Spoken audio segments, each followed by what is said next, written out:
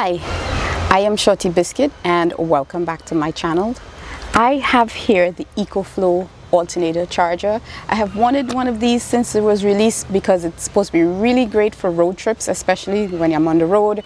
I can charge my Delta 2 power station and it went on sale so I ordered one. I'm gonna take it out and hook it up to the battery and see if it works and then I'm gonna figure out how to thread it through from the battery to the engine into the back of the trunk here.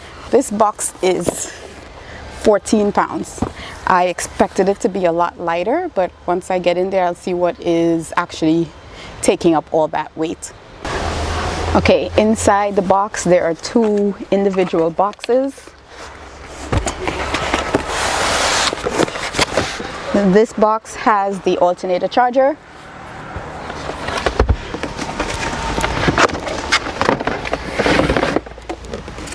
And this box has the cable, so the input cable, the XT150 output cable, and the fuse cable are all in the second box. Inside the box we have the XT150 cable. This is the fuse and this is the cable that's going to run from the battery in the engine all the way to the back and plug in to the alternator charger. It's a pretty thick cable. Um, I think it's six gauge wire, but it's a pretty thick wire. So if you notice this black cable is longer than the red cable, this is because the fuse is going to be connected between this red cable and the battery here. So we have the cable that connects the alternator charger on this end to the Delta 2 on this end, the fuse, and the input cable that is pretty heavy. There's another box inside this box. And inside this box you'd find the plate. This is to uh, attach it to the vehicle the cable puller and this is what helps pull out the cords when they're connected to the alternator charger and some screws. I will not be using this setup because as of now I don't know where I am going to be putting the alternator charger in the back here. I am likely going to be moving it depending on if my seats are up or if my seats are flat or if I have the fridge or other things in the back here. So I am probably just going to leave it in the back and let it be wherever I can move it to. And the alternator charger has the manual and the actual charger. So the charger itself is not too heavy. The weight really was in the cables so I am going to hook it up to the engine. I am not going to feed the wires through today. I did find the spot where I can feed that through. Underneath my steering wheel, there is a rubber grommet that other wires are coming into. This is a second generation 2011 Honda Pilot. And if you have a Honda Pilot, I will try to show you where it is, but it's really up underneath the steering wheel uh, behind the brakes. And there is a grommet there that I'm going to be using to push the cable through. I've already tested it to see if something can get through there and I was able to get some a piece of plastic through there so hopefully it's big enough for this 6 gauge wire. And it comes out right under the I'd say the arm for the windshield wiper. So it, there's no way you can see it. At least I couldn't see that hole from the engine side. But once you push something through from inside you can see it poke out there. And I should be able to route it there to the battery and into the car but for today I'm just gonna hook it up directly to the battery in the front I'm not gonna run the wires today and I will record that when I do and add it into this video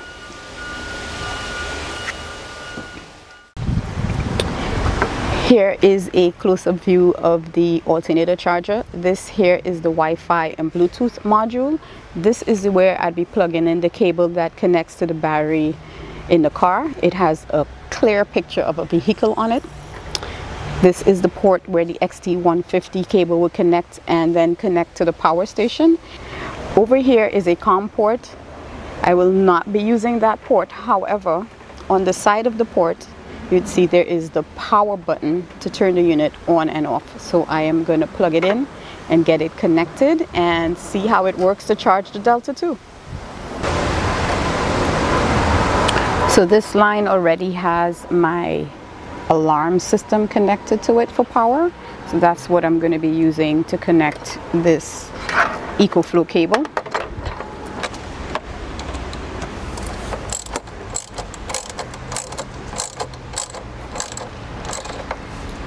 Okay, the wires are connected, so I'm going to connect, this is the cable that comes from the car. I am going to connect that right into the port that says alt in. So even on the cable, it has that clear symbol that tells you this is the one that connects to the one that says car. All right, I heard it click in there. Right, the cable is plugged in and so hopefully it's getting power and I can turn it on and immediately the screen popped up for alternate charger on the phone so I'm going to add the device to the phone. So it is 100% getting power so I did something right. Okay so on the cable itself you would see it says battery and EcoFlow.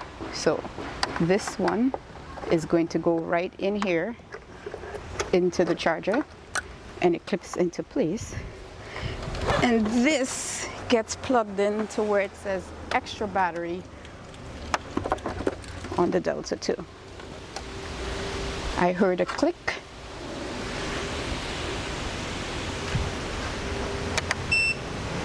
It's not getting any input yet as I would expect.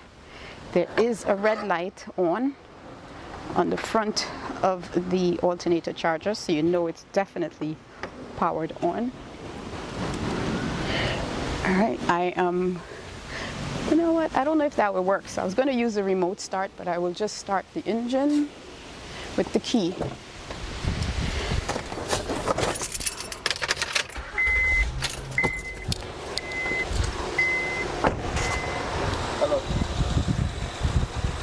All right, the engine is on and I am already getting an input from the alternator charger.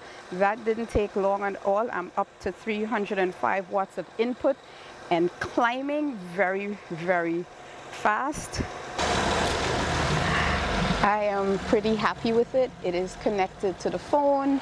The phone is seeing both the alternator charger and the power station. It is getting charged.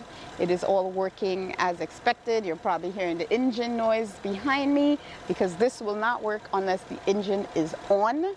So it is working. The power input is dropping and that's to be expected because the Delta is at 88% and it does not take full power through the whole charging cycle. The closer it gets to 100, the less input it pulls and it is dropping, but this is working. There's a nice green light on the front of the alternator charger. It is pulling in power and it is matching now because I see 580 on the phone screen and I see 580 here on the Delta. So next weekend for my road trip, this is how I will be getting some power if the sun does not cooperate. Okay, I am under the steering wheel and this here is the brake pedal. And you see this yellow plastic here?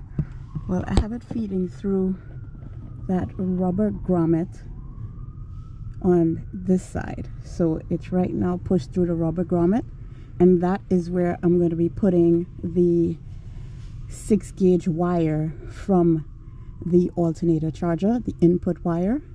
And on the next side, I'm going to show you where that comes out. Okay, now you can see this is the engine. The battery cable is right here and so this is the right side of the engine and this is behind the steering wheel see the yellow tube is coming out from there that's where the alternator wire is going to come out and then route around to the battery which is under there in order to run the cable from under the steering wheel into the engine I'm going to have to remove the fuse and what I'm going to do is I'm going to bind the two wires together so that they don't get separated and cover this tip here so that when I push it through they both go through together and they don't get hooked on anything.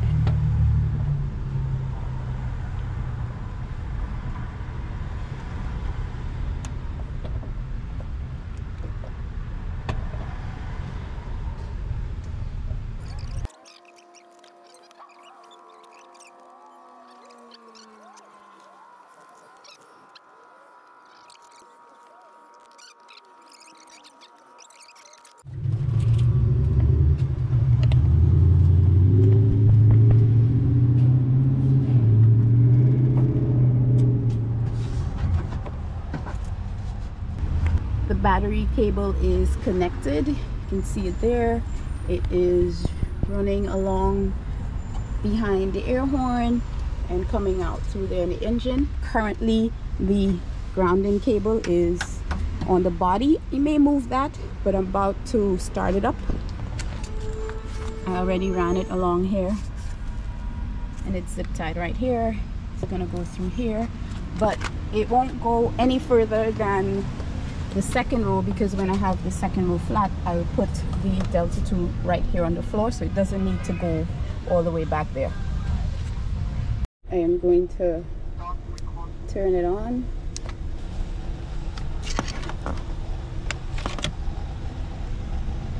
And there we have input. It is working. For this week long trip for Overland Expo East, I am very, very thankful that I had the alternator charger installed. There was rain Monday, Tuesday, Wednesday, and half of Thursday. So there was no option to charge up all my things via solar. I have the solar panels. I've used the solar panels, but I didn't get to use them until Thursday afternoon. So I'm going to show you the setup with the alternator charger and so the alternator charger is here. It's just sitting on top of the delta 2 and it's plugged in to the xt150 port on the side there of the delta 2 and it stays here powered. The ecoflow river 2 pro has been sitting on top of it right here. And so and you can see in the back there i have the ecoflow glacier fridge. The fridge is connected with the dc port on the other side of the delta 2 and it also has the internal battery in there. So what I've been doing is either using the, the, turning on my car starting the car and using the alternator charger to charge up the Delta 2 which is keeping the battery charged on the Glacier. I've also used solar panels same thing plug the solar panels into the Delta 2 and get it fully charged when there has been sun over the weekend and using the same solar panel to charge the River 2 Pro. So this has been my setup for the week and everything has stayed powered as long as I paid attention to what the percentages are. Uh, the first two days it was pretty cool and rainy outside and I got almost 45 hours out of the EcoFlow internal battery and the battery is rated for 40 hours so I was pretty surprised when it went over the 40 hours. Uh, I have the fridge set at 40 degrees and it stayed at level 39 basically in the app for the whole time. And yeah i didn't have to go in open it much. I wasn't making ice or anything else on eco mode and it did indeed last the 40 hours which i was very impressed by. So this is the setup for this trip and the combination works exceedingly well if you don't have the alternator charger and you have any of the compatible products I suggest you get the alternator charger. Even on my drive down here, everything was full by the time I got here and stayed full the entire time because the alternator charger was keeping the Delta 2 powered, which was keeping the fridge powered. Get yourself an alternator charger.